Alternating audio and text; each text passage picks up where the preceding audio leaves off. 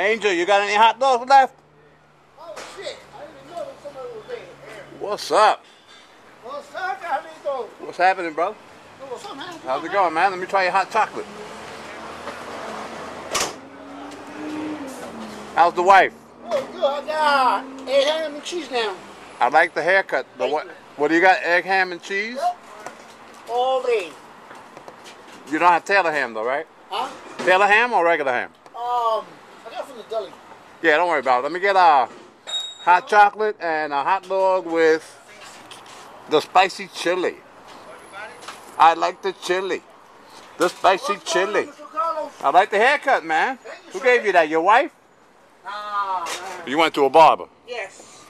I don't know. They got you looking a little too papi chulo-ish. A little too papi chulo-ish. 462 Broadway.